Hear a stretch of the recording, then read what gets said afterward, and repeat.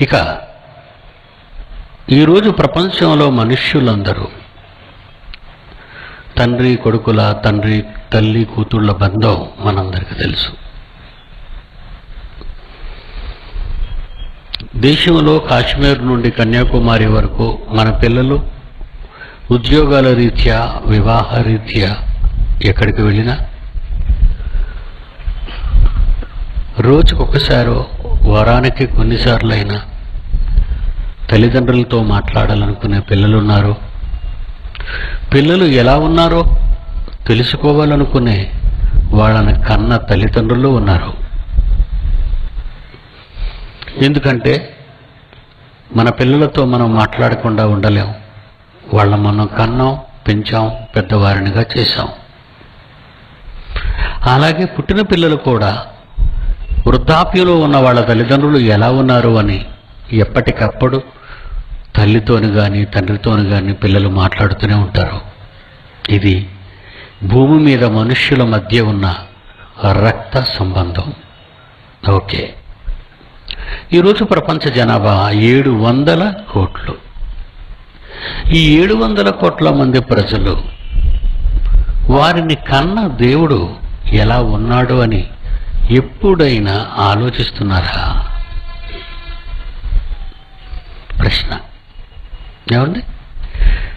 మనకు చదువులు చెప్పించి ఉద్యోగాలు ఉద్యోగాలకు అర్హులుగా చేసి మనల్ని ఇంతటిగా ఇంతటి వారినిగా చేసినటువంటి తల్లిదండ్రులతో మాట్లాడకుండా బంధం లేకుండా ఉండలేని మనం మనం అడగక ముందే లేదా మనం పుట్టక ముందే ఈ విశాలమైన విశ్వాన్ని అందులో అందమైన ప్రకృతిని అందులో అతి అద్భుతమైన ఈ మానవ నివాసయోగ్యమైన భూగోళాన్ని కలిగించి ఇది లేదండి మాకు అనే స్థితి లేకుండా మీ తండ్రి మన తండ్రి.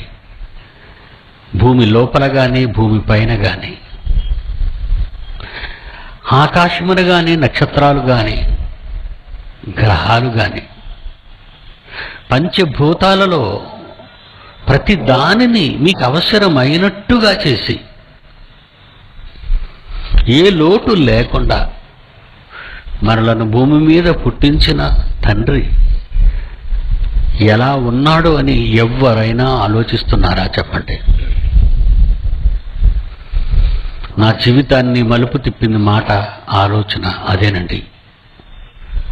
భూమి మీద కొంతకాలం ఉండే తల్లిదండ్రుల క్షేమ సమాచారాన్ని తెలుసుకోవాలనుకునే మనం.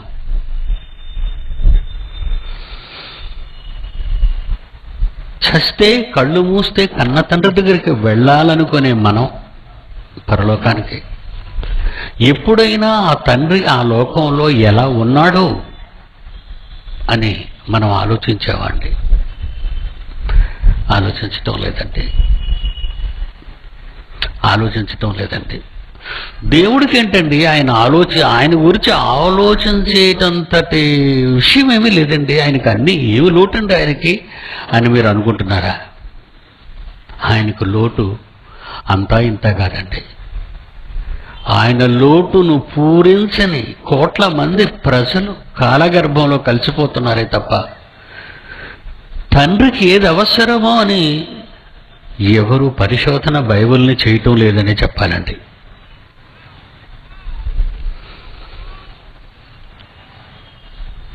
జలప్రళయం ఎందుకు వచ్చింది? ఆలోచించండి. దేవునికి ఏమి తొయ్యక ఈ భూమిని జలమయం చేసి తాను కన్న పిల్లలందరినీ చంపేశాడు. కషాయివాడా? కన్నవాడా? ఏ కన్న తండ్రి అయినా ఇంత కషాయిగా ప్రవర్తిస్తాడా? అందులో దేవుడు కన్న తండ్రి అయి ఉండగా ఎందుకు ఈ పని చేశాడని ఎవరైనా ఆలోచించారా? ఆలోచించమనే ఈ మహావేద గ్రంథాన్ని మీ చేతిలో పెట్టాడండి. జలప్రలయాన్ని ఎందుకు రప్పించాడో చెప్పాడండి. జలప్రలయం తర్వాత ఆయన ఏమన్నాడు ఒకసారి బైబిల్ విప్పి చూడండి. ఆదికాండం ఎనిమిదవ అధ్యాయం ఇరవై ఒకటో వచనం దయచేసి మీరు చూడండి. ఆదికాండం ఎనిమిదో అధ్యాయం. ఇరవై ఒకటో వచ్చిన చూడండి. నరుల హృదయ ఆలోచన వారి బాల్యము నుండి చెడ్డది. అదండి దేవుడు మనకిచ్చిన సర్టిఫికెట్. మరి ఎప్పుడైనా మీ గురించి దేవుడిని అడిగి తెలుసుకున్నారా? అడగడం ఎందుకండి? ఇదిగోండి వ్రాయబడింది. బోల్డ్ బైబుల్ అమ్ముతున్నారండి ఆ ప్రక్కనే. నా చిన్నప్పటి నుంచి చూస్తున్నానండి. బైబిల్ అమ్ముతూనే ఉన్నారు. మరి ఇంతమంది బైబిల్ కొనుక్కున్నప్పుడు ప్రపంచవ్యాప్తంగా దేవుని మనసులోకి ఒకసారి వెళ్ళాలని ఎవరికి అనిపించలేదా? అనిపించాలని కదండి ఇది వ్రాయించాడు. ఒక ప్రియురానికి ప్రియుడు ఉత్తరం రాస్తే నా ప్రియుడు నన్ను పట్టించుకోలేదని ఆ ఉత్తరాన్ని చూడక ఆత్మహత్య చేసుకున్న ప్రియురాల గురించి మీరు ఆలోచించండి అది ఎంత తెలివి తక్కువదో. కన్న తండ్రి మనకు ఒక చక్కని పుస్తకాన్ని ఇచ్చాడండి. దీనికి మా మ్యూజిక్ డైరెక్టర్ గారు జాన్సన్ విక్టర్ గారు దానికి ఒక పాట రాశారండి. ఇది బైబులు బైబులే కానీ ప్రేమలేఖ అన్నాడండి దాన్ని. ఏమండి? ప్రేమలేఖ స్వర్గానికి రావాలని లేక? ప్రేమ లేక లేక స్వర్గానికి రావాలనే లేక? స్వర్గాలని స్వర్గాన స్వర్గానికి తానున్న లోకానికి మీరు రావాలని రాసిన భూమి మీద ప్రేమ లేక? స్వర్గలేకండి ఆ లేఖలో ఏముందో తెలుసా? తన మనసు ఉందండి ఆ లేఖలో ఆయన బాధపడుతున్నది ఎవరి కొరకో తెలుసండి? మన కోసమేనండి. అదే ఈ ఆదికాండం ఎనిమిదో అధ్యాయం ఇరవై ఒకటి. నరుల హృదయాలోచన. వారి బాల్యము నుండి చెడ్డది. ఏమండి? బాల్యము నుండి చెడ్డదా? బాల్యము నుండి చెడ్డదా అండి? అవునండి. బాల్యము నుండి చెడ్డది అని ఆయన అనుకున్నాడండి. పంతొమ్మిదో అధ్యాయానికి రండి. పంతొమ్మిదో అధ్యాయానికి రండి. పంతొమ్మిదో అధ్యాయం నాలుగు ఐదు వచనాలు చూడండి. ఈ సుదుము గుముర్రాలో ప్రజలందరూ పండుకొనక ముందు లోతుగారు కూడా పండుకొనక ముందు ఆ పట్టణస్థులు అనగా సొదమ మనుషులు సుదుము మనుష్యులు. బాలురు. బాలురు ముడుకులలో బలం లేని వృద్ధులు. ప్రజలందరూ నలుదిక్కుల నుండి లోతుగారి ఇంటి దగ్గరకు వచ్చేసరిటండి వీళ్ళందరూ కూడి ఆ ఇల్లు చుట్టూ వేసి ఏం అడుగుతున్నారో చూడండి. లోతుగారిని బయటికి పిలిచి ఈ రాత్రి మీ ఇంటికి గెస్టులు వచ్చారట. వాళ్ళెక్కడ? వాళ్ళు ఎక్కడున్నారో చెప్పండి. ఎందుకంటే వారిని మేము అనుభవిస్తాం. బహిరంగంగా వాడితో వాళ్ళతో మేము కూడుతాం వ్యభిచరిస్తాం. బయటకు తీసుకురండి. అలాగ అడిగిన వాళ్ళలో ఎవరున్నారండి? బాలురు వృద్ధులు. ఇప్పుడు చెప్పండి బాల్యం నుండి పరిస్థితి ఏంటి? పిల్లోళ్ళకి కావాల్సి వచ్చిందండి పిల్లవాడికి కావాల్సి వచ్చిందా? ఈరోజు పిల్లవాడికి కావాల్సి వచ్చిందండి? దేవుడు కలిగించిన ఈ పవిత్ర జన్మ కారణ జన్మ దేవునికి కన్నీటిని మిగులుస్తుందండి వేదనను మిగులుస్తుందండి. వ్యవస్థ పాడవుతుంటే వ్యవస్థ పాడవుతుంటే వ్యవస్థలోని మనం ఎలా ఉన్నాం ఈరోజు చెప్పండి? దేవుని పిల్లలమే కదండి మనం అందరూ చెప్పుకుంటున్నాం. మనంతా దేవుని పిల్లలం కదండి క్రైస్తవులమే. వ్యవస్థ చెడిపోతున్నప్పుడు వ్యవస్థలో ఉన్న మనం ఎలా ఫీల్ అవుతున్నాం ఈరోజు? మరి ఈయన గారిని చూద్దామంటే లోతు గారిని. సుధములో ఉన్న లోతు గారిని మరి వాళ్ళ ఫ్యామిలీనే కదండి పిలిచాడు. ఆ లోపలికి వచ్చిన గెస్టులు ఎవరున్నారో పంపించండి మేము అనుభవిద్దామని. పేతురు రాసిన రెండో పత్రిక రెండో అధ్యాయం. పేతురు గారు రాసిన రెండవ పత్రిక రెండవ అధ్యాయము. ఆరు వచ్చిన నుండి చూడండి. మరియు ఆయన సొదమ సుదుము గుమర్రాలను పట్టణములను భస్మము చేసి ముందుకు భవిష్యత్తులో భక్తిహీనులకు వారికి వాటిని దృష్టాంతములుగా ఉంచుటకై వాటికి నాశనము విధించి. ఏడు ఎనిమిది. అవ ఆ నీతిమంతుడు ఎనిమిది వచ్చిన ఆ నీతిమంతుడు లోతు వారి మధ్యను కాపురముండి తాను చూచిన వాటిని బట్టి వినిన వాటిని బట్టి వారి అక్రమమైన క్రియల విషయములో దిన దినము నీతిగల తన మనస్సును నొప్పించుకుని వచ్చెను. అబ్రహాము దేవుని నమ్మెను అది తన నీతిగా ఎంచబడను మీరు దేవుని నమ్మెను అది మనకు నీతిగా ఎంచబడను. ఆ నీతిమంతులమైన మనము ఆ నీతిమంతుడు ఆ నీతిమంతుడు ఏం ఫీల్ అయ్యాడు చూడండి? దినదినము నీతిగల తన మనస్సును నొప్పించుకొనొచ్చు దేనికి? ఎందుకంటే ఈయన బాధపడిపోతున్నాడు ఊరికే. ఎవరో ఒక ఆమె చెరచబడితే ఈయనకు బాధేటండి ఏమండి? అందుకే ఏడవచ్చులు ఏమంటున్నాడు? దుర్మార్గుల కామ వికారయుక్తమైన నడవడి చేత బహుబాధపడిన మంత్రుడు లోతు. ఏమండి? మనం నివసిస్తున్న ఈ వ్యవస్థలో వ్యవస్థ చెడిపోతుంటే పోలీసులు ఉన్నారని మీరు అనుకుంటే పొరపాటండి. మీరు నీతిమంతులైతే వ్యవస్థను కాపాడండి. మీరు నీతిమంతులా? దేవుని నమ్మిన వారు నీతిమంతులని కదండి ఉంది? దేవుని నమ్మిన మీరు నీతిమంతులైతే మీ చుట్టూ ఉన్న వ్యవస్థ చెడిపోతుంటే మీరు ఎలా నిద్రపోతున్నారండి? దిన దినము తన నీతిగల మనస్సును నొప్పించుకుంటున్నాడటండి లోతు గారు. భూమి మీద పరలోకమందున్న ఒక తండ్రికి పుట్టిన లోతు అనే ఈ కుమారుడు కన్న తండ్రి పిల్లలైన వీళ్ళు భూమి మీద తన చుట్టూ తన తరములో ఉన్నప్పుడు తన తరములో ఉన్న తన పిల్లలను కాపాడవలసిన బాధ్యత నీతిమంతుడైన లోతుకుంటే దేవుని నమ్మామని చెప్పుకునే మీరు నీతిమంతులు కనుక యేసును నమ్మి బాప్తిసం పొంది. ఆ నీతిమంతులైన మీరు దినదినము బహు బాధపడుచున్నారా? మనకెందుకులే అని పట్టించుకోకుండా పోతున్నారా? చెప్పండి. సర్వలోకానికి వెళ్ళి సర్వ సృష్టికి సువార్తను ప్రకటించండి అన్నాడంటే సువార్త. ఏం చెప్పమన్నాడు నిన్ను? సర్వదేశాలకు వెళ్ళి అడుక్కొని తెచ్చి అమెరికా డబ్బు దమ్మన్నాడా ఏమండి? సర్వలోకానికి వెళ్ళి అమెరికా డబ్బు తెచ్చి ఇండియాలో పంచమన్నాడా? నిన్ను దాచుకోమన్నాడా? కొట్టేయమన్నాడా? ఏంటండి దారుణ పరిస్థితి? ఇకపోతే మనం ఏదో మేము ఎలా మనం ఎలాంటి దశలో ఉన్నాం చెప్పమంటారండి? ఆశీర్వాద పండుగలు. ఆశీర్వాద పండుగలా? ఏలూరు మీటింగ్స్ చూసుకొని వచ్చానండి ఇప్పుడు. Superintendent of police Eluru. ఆయన ఏమన్నారు చెప్పమంటారా? ఈ సభల కోసం. ఇదేంటండి బాబు ఆశీర్వాద పండుగలు ఉజ్జీవ సభలను మీ సభల్లో ఉండాలి కానీ జనారణిలో క్రూర మృగాలు ఏంటండి అని పోలీసు గ్రౌండ్ క్యానల్ చేశాడండి. పోలీసు గ్రౌండ్ క్యానల్ చేశాడు. నేను ఎస్పీని పెద్ద డర్టీ ఐపీఎస్ చేసేసాను నేను. నేను ఒక్కడనే ఐపీఎస్ మగాడిని. మొదటి రోజు ఇచ్చానండి.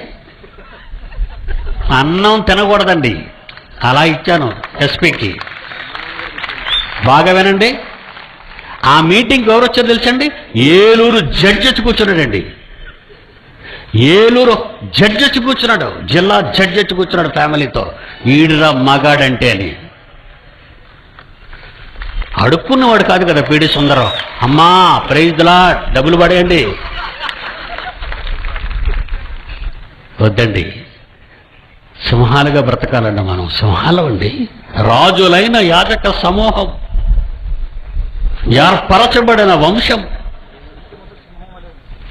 ఎలా ఉండాలి సార్ మనం? ఇర్మియా గారు ఈ పరిస్థితిని ఆలోచించి సమాధానంగా ఉంది. వెరీ హ్యాపీగా మనం ఉన్నామని. ఏమంటే ఇరవై గ్రంథం తీయండి మీరు చూడండి.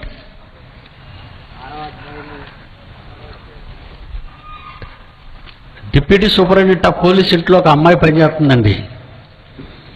పాపం ఆయన కూడా వచ్చాడండి. దండేసి కిరీటం పెట్టి అన్ని సాల్వగేవ కెప్పనోడు ఏలూరు డిఎస్పి ఆయన గారు ఊరు వచ్చారని ప్రతిరోజు కూర్చునేవాడు. ఆ ఇంట్లో పనిచేసే అమ్మాయి అంటుందటండి అయ్యగారు ఎంత కఠినంగా మాట్లాడుతుంటే ఆయన మీరు పట్టుకోరా అన్నదట. నేను పట్టుకో పట్టుకోవడం కాదమ్మా నన్ను పట్టేశాడు ఆయన.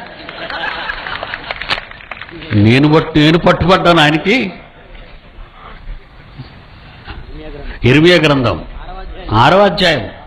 పదమూడు పద్నాలుగు వచ్చిన చూడండి. ఇర్మియా గ్రంథం. ఆరో అధ్యాయం. పదమూడు పద్నాలుగు.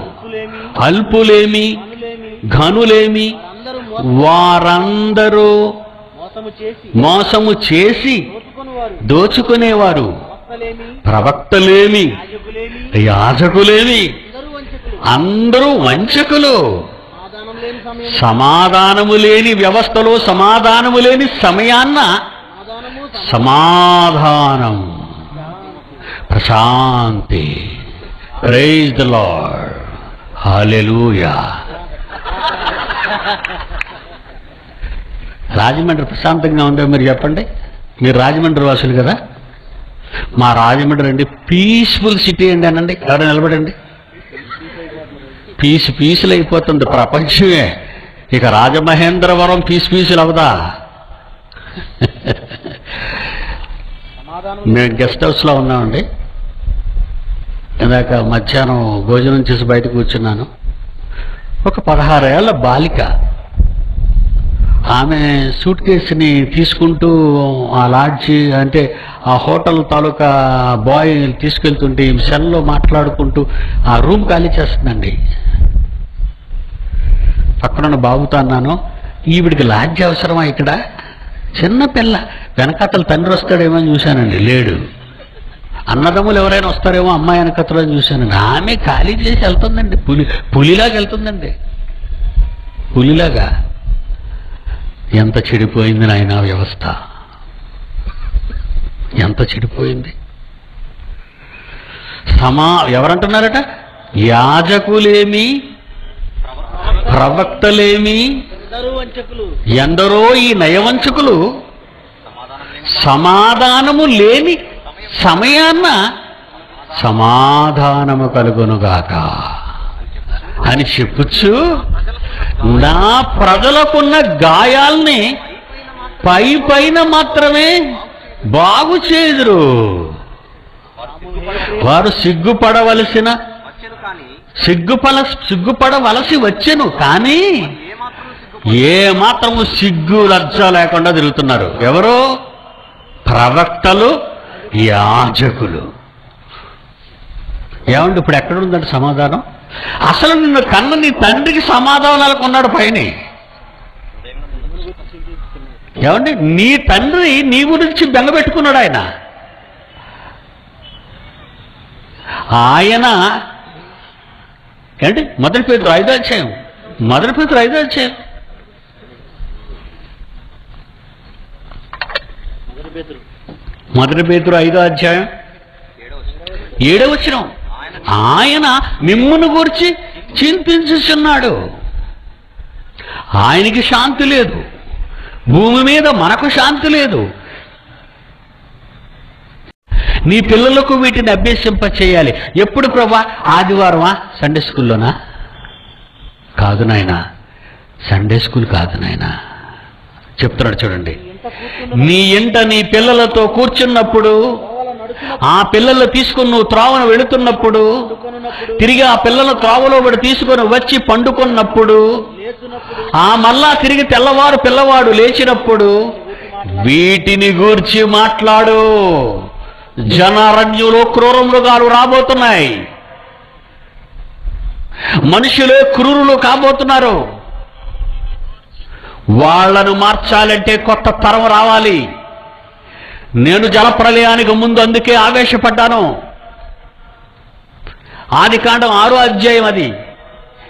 ఇది ఐదో ఐ- ఐదు ఐదో పుస్తకం. ఆది ఆదికాండం నిర్గమాకాండం లేవీకాండం సంఖ్యాకాండం ద్వితీయోపదేశ కాండం.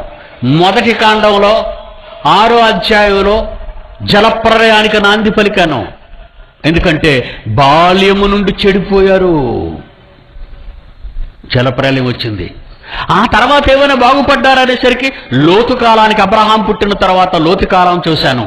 లోతు కాలంలో సుదుము పిల్లల సుదుము పిల్లలు పసి బాలురు ముసలి వాళ్ళు అందరూ వచ్చారయ్యా నేను దేవదూతలు పంపించాను. ఆ కుటుంబ కుటుంబాన్ని కాపాడడానికి దేవదూతలు పంపితే వాళ్ళను కూడుతారటిళ్ళు కనుక నేనేమి నేర్చుకున్నాను? మీకేమి నేర్పించాలనుకుంటున్నాను? నేనేం తెలుసుకున్నాను? మీకేమి తెలపాలనుకుంటున్నానంటే బాల్యము నుండి దెబ్బతింటున్న ఈ వ్యవస్థను కాపాడాలి అంటే బాల్యం నుండి బుద్ధి చెప్పే తరం రావాలి. బాల్యం నుండి బుద్ధి చెప్పే తరం రావాలి. అందుకే నీ మనస్సులో ఉంచుకో. ఇక నీ కుమారులకు వాటిని అభ్యసింపచేయి. త్రోవలో నడిచినప్పుడు ఇంట కూర్చున్నప్పుడు మళ్ళీ ఇంటికి వచ్చినప్పుడు భోజనం చేసిన తర్వాత పండుకున్నప్పుడు తిరిగి లేచినప్పుడు ఇవే ఇవే ఇవే నా పాఠాలే నా పాఠాలే నా పాఠాలే నా పాట నా పాఠాలే నేర్పించాలి నా పాఠాలే నేర్పించండి. క్రూర సమాజం రాబోతుంది భవిష్యత్తులో. జనారణ్యంలో క్రూర మృగాలు రాబోతున్నాయి ఈ ప్రపంచానికి. పదమూడేళ్ళకే ఉగ్రవాది కావాలా? ఈ ఫోటో చూడండి ఎప్పుడు తండ్రి అయిపోయాడు? వాడు ఎప్పుడు తండ్రి అయిపోయాడు ఈ ఫోటో చూడండి. పదమూడేళ్ళకే తండ్రి అయిపోయాడు.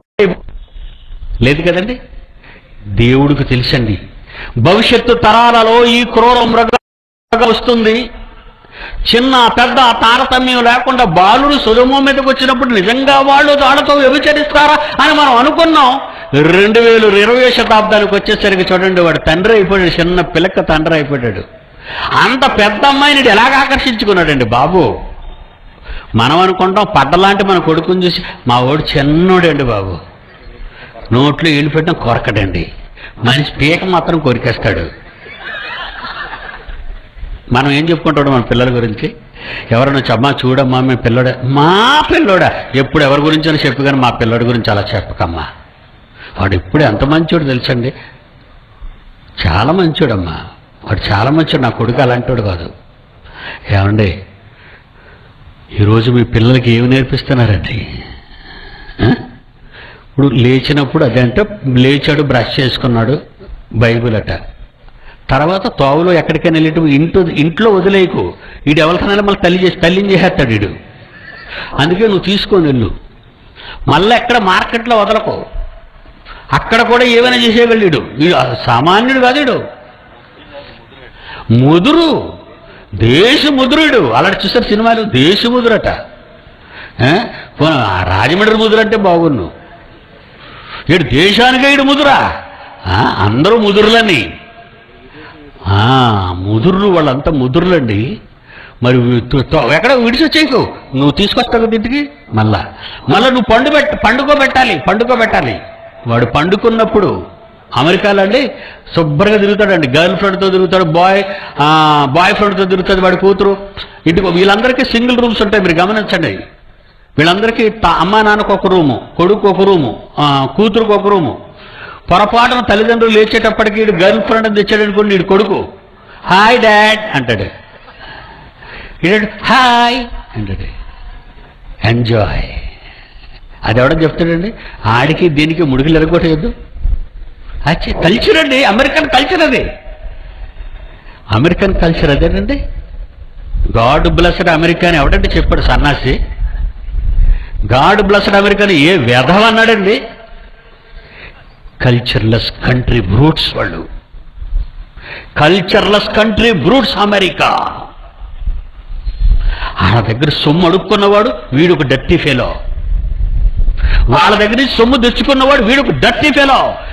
వెళ్ళరా ఆ దేశాన్ని బాగు చేయి నీకు చావుంటే లోతు లాంటి హృదయాన్ని కలిగిన నీవు నీ మనస్సును పశ్చాత్తాపంలో పెట్టుకొని నరక యాతన అనుభవించి దినదినము బహుగా బాధపడితే బీయింగ్ యూర్ అమెరికన్ ఆ దేశాన్ని బాగు చేయి. ఆర్ యు బీయింగ్ ఇండియన్ ఈ దేశాన్ని బాగు చేయి. ఏమి నేర్పిస్తున్నావు నీ పిల్లలకి? ఏమి నేర్పిస్తున్నావు? బీటెక్ ఎంటెక్ ఎంసీఏ ఎంబీఏ అన్నీ నేర్పుతున్నావా? ఆ, పండుగ ఉన్నప్పుడు ఎంబీఏ వాడు బడికి వెళ్తే ఎంబీఏ వాడికి ట్యూషన్ ఎంబీఏ వాడి ఇంటికి వచ్చినప్పుడు నైట్ నిద్ర లేకుండా ఎంబీఏ మళ్ళా తెల్లవారులగ్గానే ఎంబీఏ ఆహా. ఏ వెతికి ఎదిగారరా మీరు? ఆ? ఈ మధ్య ఆడవాళ్ళు నడుస్తుంటే పీకలోనున్న చైన్లు కోసేసేవాళ్ళు ఎంటెక్ స్టూడెంట్లు టీలు బీటెక్ స్టూడెంట్లు టీలు ఇద్దరు కూర్చొని ఒకడు బండి నడుపుతుంటే తలతలమని ఏ అమ్మాయి అమ్మాయి మెడలో కానీ లేదా ఒక తల్లి చి- తల్లి మెడలో కానీ గొలుసు భరిస్తే తప్పదెప్పుకొని వెళ్ళిపోతున్నాడు. బీటెక్కిడు. అంటే హైటెక్ పోయాడు అనమాట అర్థం. చాలా హైట్కి వెళ్ళిపోయాడు. గర్వపడుతున్నారా మీ పిల్లలు ఎం బీటెక్ అని ఎంటెక్ అని? వద్దర్రా. లోక జ్ఞానమును దేవుడు వెర్రితరముగా చేసినప్పుడు ఈ లోక జ్ఞానమును దేవుడు వెర్రితరముగా చేసినప్పుడు ఆ వెర్రి కొరకు నీ పిల్లల్ని చదివిస్తున్నవే లక్షల రూపాయలు ఇచ్చి తప్పు చేస్తున్నావు బిడ్డ. తప్పు చేస్తున్నావు బిడ్డ నువ్వు. తప్పు చేస్తున్నావు. మరొక క్రూర మృగాన్ని నువ్వు తయారు చేస్తున్నావు. ఏమండి ఎంబీ చదివిస్తే క్రూర మృగం వెళ్ళిపోయా మృగం ఎలాగైపోద్ది అనుకుంటున్నారా? బాగా చదువుకున్నాయన తర్వాత బాగా సంపాదించినాయన తర్వాత ప్రపంచంలో ఏ దేశంలో సెటిల్ అయిపోయాను ఆ తర్వాత పెళ్ళి చేసిన దాన్ని మొక్క ముక్కలుగా చేసేసి అక్కడక్కడ పారినాయన ఎందుకు చదువుతున్నావు సమాజాన్ని బాగు చేయలేని నీ విద్యందుకు నిన్ను తగలబెట్ట? వ్యవస్థను బాగు చేయలేని నీ విద్యందుకు నేను పెంచుతున్నాను జనవరి నుంచి. జనవరి ఫిబ్రవరి మార్చి ఏప్రిల్. నాలుగు నెలలు రెసిడెన్షియల్ యూనివర్సిటీలో చదివిన నా పాపని ఒక్క పాపని చూపిస్తాను ఈవేళ శాంపుల్. ఎలా ప్రసంగం చేస్తుందో ఏమండి జైశాలి డాట్ టీవీలు అంటే ప్రపంచంలో యాభై ఎనిమిది దేశాలు చూస్తుండగా వెయ్యి మంది ప్రజల మధ్య వెయ్యి మంది స్టూడెంట్స్ మధ్య నా బిడ్డ ఎలా ప్రసంగం చేస్తుందో మీరు కళ్ళతో చూడాలి. అనర్ఘలంగా ఎలా మాట్లాడుతుందో నాలుగు నెలలకు పెంచానండి ఐదేళ్ళు పెంచుతానండి వీళ్ళు ఫైవ్ ఇయర్స్ నాలుగేళ్ళు అయిందండి నాలుగు నెలలు అయిందండి వాళ్ళు జాయిన్ అయ్యి. ఓకేనా లైట్ షాప్ ఒకసారి కేంద్రీకృతం అవుతుంది. పదకొండేళ్ళకి ఎలా తయారు చేశాడో సింహం ఒక మరొక సింహాన్ని. లెవెన్ ఇయర్స్ లెవెన్ ఇయర్స్ అదండి. నశించిపోతున్న ఈ క్రూర మృగాల వ్యవస్థను వెంటాడి వేటాడి వేటగాళ్ళు కావాలి. ఈ క్రూర మృగాలను వేటాడడానికి వేటగాళ్ళు కావాలి. ఆ వేటగాళ్ళే Bible open university India international residential కళాశాల స్టూడెంట్స్ తయారవుతున్నారండి. నాలుగు నెలలకు తయారు చేశాను ఈ బాణాన్ని. ఎలా మారుతారండి?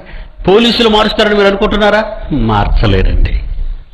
ఇండియన్ పీనల్ కూడా మారుస్తుంది అనుకుంటారా ఇంపాసిబుల్ అండి మార్చలేరండి. చట్టం మార్చలేదు రాజ్యాంగం మార్చలేదు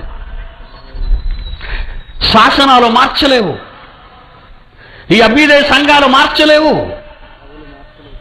ప్రపంచంలో మార్చగలిగిన వాళ్ళు ఒకరే అతడే క్రైస్తవుడు.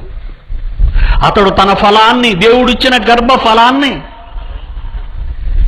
దేవుడిచ్చిన గర్భ ఫలాన్ని దేవుని కొరకే పెంచితే అదే అగ్ని బాణం అవుతుంది. బలవంతుని చేతిలో బాణం అవుతుంది.